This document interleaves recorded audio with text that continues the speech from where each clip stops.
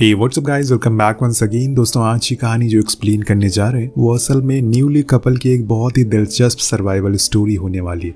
तो चलिए शुरू करते हैं। हमें किसी अनजान जगह को दिखाया जाता है, जिसका नाम हमें आगे पता चलेगा। पर उसी जगह पर हम किसी अज्ञात चीज़ को आसमान से गिरते हुए देखते हैं, जो दिखने में लाल कलर की लग रही थी। फिर हम एक जंगल का सीन देखते हैं, जहाँ पर एक हिरन को खड़ा हुआ पाते हैं। वो देखने में बहुत ही अजीब लग रहा था क्योंकि उसकी एक सीन को किसी ने बहुत ही बेरहमी से अलग कर दिया था। अब ये किसने किया, ये तो हमें आगे पता चलेगा, लेकिन फ़िलहाल के लिए हम उसी हिरन का पीछे एक परछाई को देखते हैं। जो बहुत ही तेज गति से आती है और उसे पकड़कर अपने साथ ले जाती है। तो कुछ इस तरह से इस कहानी का इंट्रो होता है, जो कि काफ़ी दिलचस्प था। सीन शिफ्ट होकर पहुँचता है जॉन और क्लियर पर, जो पिछले तीन साल से साथ है। लेकिन उन्होंने अभी तक शादी नहीं करी। हालाँकि जॉन इस चीज़ के लिए कब से तैयार है, लेकिन वो क्लियर की एंजाइटी प्रॉब्लम की वजह से रुका हुआ है। और ये अटैक उसे पास में हुए कुछ बहुत ही बेरहम हादसों की वजह से आते हैं, जिसे वो आज तक भुला नहीं पाई। वो यहाँ पर इसलिए आए हैं क्योंकि जॉन को ऐसी जगहों पर जाना अच्छा लगता है। और उन्हें एक्सप्लोर करने का उसे शौक है। इसीलिए उसका दिल रखने के लिए उसने हाँ कर दी। अब दोनों के बीच में काफ़ी अच्छी बॉन्डिंग है, जो हम ड्राइव के दौरान देख पाते हैं। अब जंगल के अंदर जाने से पहले वो एक छोटी सी लोकल कैफ़े में रुकते हैं और कुछ खाते हैं। तभी वहाँ पर काम करने वाला एक लड़का आकर उसे बहुत ही अजीब वे में पूछता है, क्या उन्होंने किसी रेड स्टार को गिरते हुए देखा है? पर वो मना कर देते हैं और हंसने लगते हैं, क्योंकि उन्हें लगता है कि शायद वो लड़का मज़ाक कर रहा है। पर उसकी शक्ल देखकर तो बिल्कुल भी नहीं लगता। ये बात उसके लिए मज़ाक है, क्योंकि वो बहुत ही ज़्यादा डरा हुआ था। शायद ये लड़का उसी चीज़ के बारे में बात कर रहा है, जो हमने कहानी की शुरुआत में उसी जंगल में गिरते हुए देखा था। वो भी रेड कलर का था। अब इत्तेफाक की बात यह है कि जिस कैफ़े में ये रुके हैं, उसका नाम भी रेड आता है। उसके नाम में भी रेड आता है और इनकी कार भी रेड है। होप सो, ये बस एक इत्तेफाक ही और कुछ नहीं। अब दोनों अंदर इंटर कर जाते हैं ट्रैक करना शुरू कर देते हैं। बीच बीच में हम किसी और के चलने की भी आवाज़ को महसूस कर पाते जो कि इन्हें अभी तक पता चल नहीं पा रहा, क्योंकि ये अपनी मस्ती में मगन है। लेकिन कुछ ही देर बाद क्लियर को एहसास हो जाता है इस चीज़ का।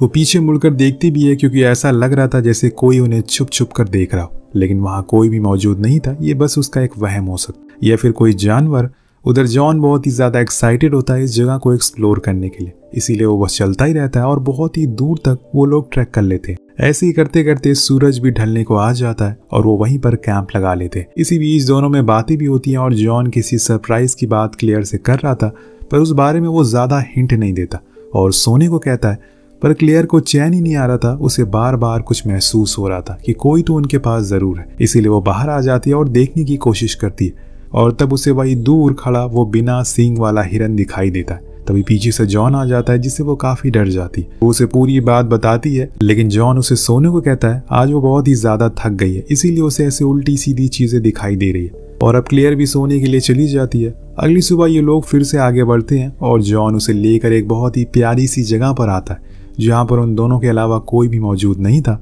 वहाँ से व्यू बहुत ही शानदार होता है। जिसे देखकर क्लियर काफ़ी खुश होती है और सही मौका देखकर इतनी में जॉन उसे शादी के लिए प्रपोज कर देता। यही था उसका सरप्राइज़ जिसे वो कई दिन से प्लान कर रहा था। लेकिन दोस्तों, यहाँ पर कुछ बहुत ही अजीब होता है, जो कि नहीं होना चाहिए था। क्लियर को फिर से एंजाइटी अटैक आने लगते हैं और उसकी पूरी दुनिया ही घूम जाती है। पर जॉन उसे संभालता है और उसे बैठने को कहता है, लेकिन उस बेचारे को तो मोय मोय हो गया था।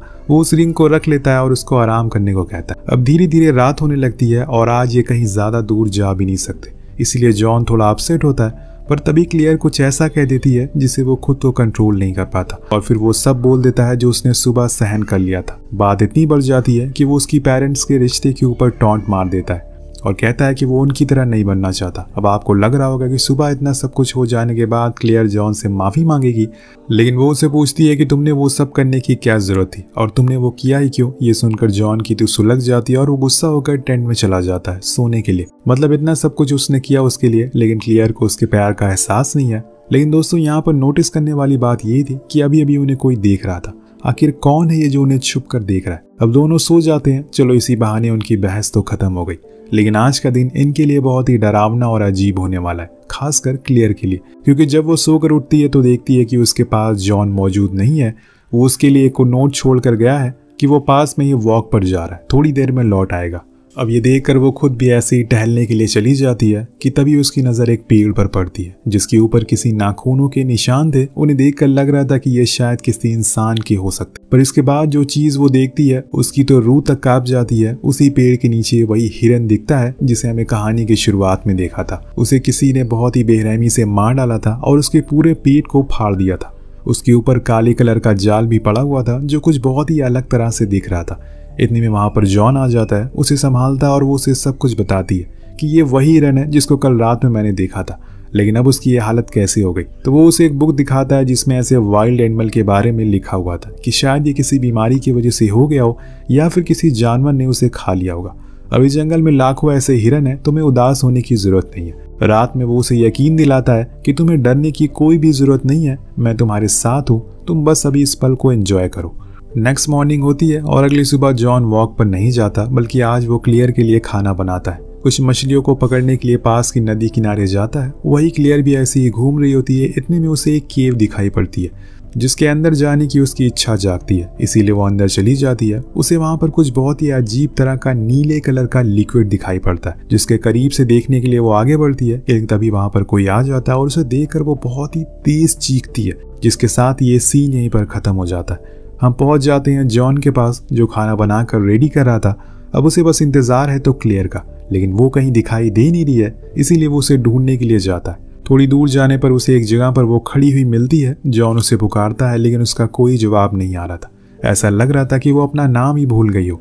इसीलिए जॉन उसके करीब जाकर उसे पूछता है कि तुम यहाँ पर क्यों खड़ी हो? पर दोस्तों, जब क्लियर पलटती है तो वो कोई और ही थी। उसके चेहरे सारे एक्सप्रेशन ही गायब हो चुके थे। ऐसा लग रहा था कि मानो वो कोई रोबोट हो। बस सीधे खड़ी थी। जॉन ये देखकर थोड़ा अजीब फील करता है, लेकिन वो कुछ कहता नहीं। उसे लगता है कि शायद वो कल वाली बात को लेकर नाराज़ है, इसी वजह से वो उसे ज़्यादा कुछ नहीं पूछता। अब रात में जब जॉन की आँख खुलती है तो वो देखता है कि क्लियर तो उसके पास में है ही नहीं, और ये चीज़ देखकर वो फ़ौरन बाहर भागता है, और इधर उधर ढूँढने लगता है, लेकिन तभी अचानक से पीछे से क्लियर आ जाती है, जिसकी वजह से वो डर जाता है। उसके हाथ में चाकू होता है, और वो बताती है कि उसे लगा कि शायद कोई जानवर है, इसीलिए वो बाहर आ गई। देन जॉन उसे कैंप में ले जाता है, पर रात से सुबह हो जाती है। क्लियर की ना तो आग चपकती है और ना ही वो हल्की सी हिलती है।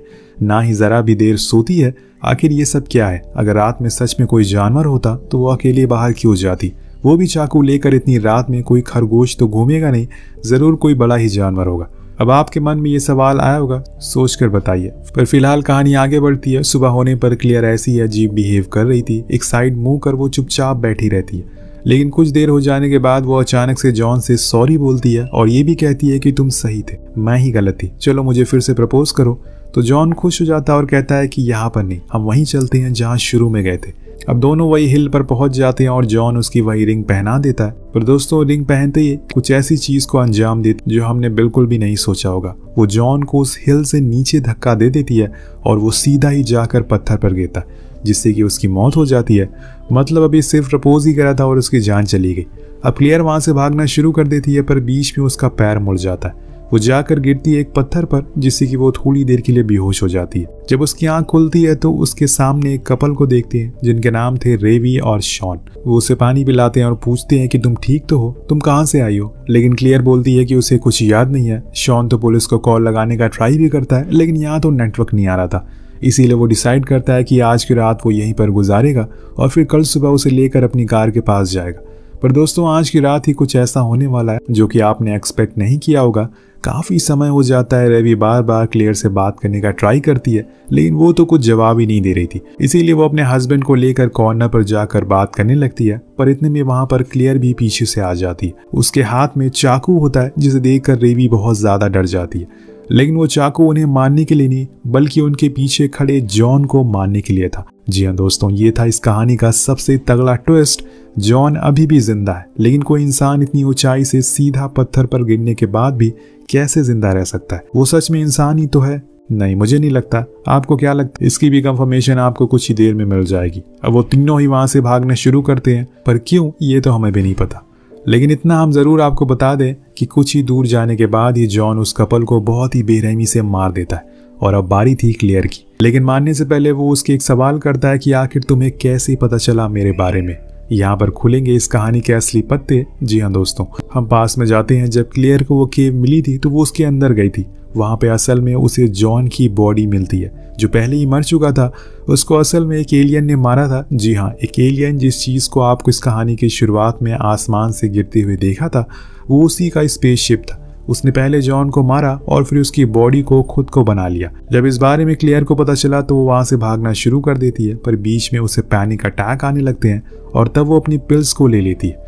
पर इतने में पीछे से जॉन आ जाता है, पर वो फेक था, जो कि उसे पता चल चुका था, इसीलिए वो उसके सामने किसी भी तरह का कोई भी एक्सप्रेशन नहीं दे रही थी। उसने प्लान भी बनाया था कि वो उसे मार देगी, इसीलिए उसने धक्का भी दिया, लेकिन वो फिर से हील हो गया। मतलब ये एलियन बहुत ही ताकतवर है और ये खुद के जख्म को हील कर सकते हैं। ये चीज़ वो हर बारी करेगा जब जब वो मरेगा। असल में इन एलियंस को क्लेन नाम से पुकारा जाता है। ये किसी भी नई जगह पर जाते हैं और वहाँ पहले अपने एक आदमी को भेजते हैं। जब सब कुछ सही रहता है तो वो आदमी अपने और साथियों को यहाँ बुला लेता है। और इस एलियन का धरती पर यह पहला एक्सपीरियंस था। किसी इंसान से आज उसका पहली बार पाला पड़ा था, वो बहुत कोशिश करता है कि किसी तरह से क्लियर को मार दे। पर अफसोस कि वो ऐसा कर नहीं पाता, क्योंकि जब इसने जॉन की सारी चीज़ों को एब्जॉर्ब किया तो उसके अंदर क्लियर के लिए वो फीलिंग भी चली गई, उसके लिए वो प्यार भी मौजूद था, जो क्लियर के लिए जॉन के अंदर था, जो कि अब उस एलियन के अंदर जा चुका है। उसके लिए चीज़ें एकदम नई थी, इसीलिए वो समझ नहीं पाता कि असल में वो करे तो करे क्या। इस चीज़ का फ़ायदा उठाकर क्लियर उसे और फांसने लगती है, और वो उसे वही बातें बोलती है जो कि जॉन को बोला करती थी। और उसे ये सब बातें सुनकर वो एलियन और परेशान होने लगता है, और कंफ्यूज होने लगता है। उसके सिस्टम में आज पहली बार प्यार से पाला पड़ा था, जो कि एक बहुत ही भयानक बला है। जिसने भी इसको छुआ है, वो जला है। क्लियर उसे अपनी बातों में उलझा कर वहाँ से भागने में कामयाब हो जाती है, लेकिन ज़्यादा दूर तक नहीं जा पाती। वो उसे फिर से पकड़ लेता है और यहाँ वो उसके ऊपर वार भी करती है। लेकिन वो हर बारी हील हो जाता है। यहाँ वो क्लियर को बहला फुसला कर बीच पर ले आता है और वो उसे अपने प्यार का इजहार करता है और कहता है कि वो उसका बहुत अच्छे से ख्याल रखेगा। और वहाँ उसे अपने प्यार का इजहार करता है और कहता है कि वो उसका बहुत अच्छे से ख्याल रखेगा। अभी नया नया इश्क का एहसास हुआ है इस एलियन को। अब वो उसे अपना स्पेसशिप भी दिखाता है और समझाता है कि यहाँ पर रहने का अब कोई फ़ायदा नहीं है। क्योंकि कुछ ही देर में मेरे और भी साथी यहाँ पर आ जाएँगे लेकिन क्लियर नहीं मानती, इसी बीच उसकी नज़र एक शार्क पर पड़ती है। उसके दिमाग में एक आइडिया आता है तो वो पहले उस एलियन के सीने में चाकू घोप देती है और फिर समुंदर की ओर भागना शुरू कर देती है। एलियन बार बार उसे रोकता है और कहता है कि मैं तुम्हारी मदद करना चाहता हूँ। लेकिन जब वो थोड़ी और अंदर जाती है तो वो शार्क आकर सीधा उस एलियन को खा जाती है। ऐसा इसलिए हुआ क्योंकि उसके सीने से खून बह रहा था, जिसकी स्मेल उस शार्क को आ गई थी। अब क्लियर भागना शुरू करती है और भागते भागते वो पहुँच जाती है अपने टेंट के पास। जहाँ पर पड़े हुए कुछ खाने को खा लेती है और बाहर जाने की कोशिश करती है। लेकिन इतनी ही देर में उसे फिर से पैनिक अटैक आने लगता है और इस बारी वो बची हुई पिल्स को खाकर खुद को स्टेबल करती है। उधर वो एलियन फिर से पानी से बाहर आ जाता है उस शार को मारकर और उसने खुद को पूरी तरह से हील करना भी शुरू कर दिया। इतने में क्लियर इधर उधर भागने का ट्राई करती है, वो उसके पीछे आकर खड़ा हो जाता है। अब उसे ही सोप करने के लिए तैयार था, बस यही एक रास्ता है उसे अपनाने का। लेकिन वो ये भूल गया था कि क्लियर के अंदर इतनी सारी एंजाइटी है, जो किसी हँसते खेलते आदमी को भी ज़िंदा लाश बना सकती है। और उन्हें भी उसने पूरी तरह सोख लिया था। फिर क्या था क्लियर उन सभी बातों का इस्तेमाल करने लगती है और फिर उसके सामने उन दिनों का ज़िक्र करने लगती है। जब उसके डैड उसकी मॉम को मारा करते थे, जब उसकी छोटी बहन ने खुदकुशी कर ली। एक दिन जब उसके डैड शराब पीकर उसकी मॉम को पीट रहे थे, ये सब सुनकर उस एलियन को पैनिक अटैक आना शुरू हो जाता है और क्लियर को कुछ नहीं होता। क्योंकि सब कुछ तो उसके अंदर ट्रांसफ़र हो गया था, अब बस उसकी बॉडी बची थी। वो तड़पना शुरू हो जाता है और उसे दर्द होने लगता है। और अब यहाँ कोई पिल भी नहीं बची। वो एलियन क्लियर से मदद माँगता है, जो कि वो करती भी है। उसका सर कुचल कर। जी हाँ। जी हाँ दोस्तों, वो उसका अंत कर देती है और वहाँ से भागकर अपनी कार के पास आ जाती है और उसे लेकर निकल जाती है। अपने घर की ओर, लेकिन जरा कार को ब्रेक लगाइए। अब ये कहानी यहीं पर खत्म नहीं हुई। जैसे कि आपको पता है कि वो फिर से हील हो जाएगा, सही हो जाएगा।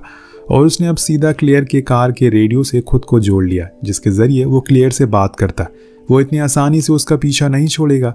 इसी दौरान वो देखती है कि आसमान से बहुत सारी रेड स्टार जैसी कुछ चीज़ें नीचे आ रही है।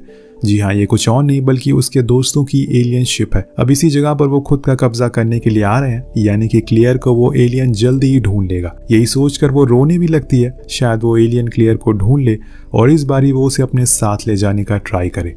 या फिर ज़बरदस्ती ले जाए। कुछ भी हो सकता है। फ़िलहाल इस पार्ट में हमें इतना ही देखने को मिलता है। शायद पार्ट टू में हमें इसके आगे कहानी देखने को पता चले। और आखिर वो एलियन कौन है और उनके पास ये शक्तियाँ कहाँ से आई? सो पार्ट टू के लिए हमें 450 कमेंट और 4000 लाइक का टारगेट रखते हैं। इस टारगेट को पूरा ज़रूर करिएगा। मिलते हैं अगले वीडियो में। Peace out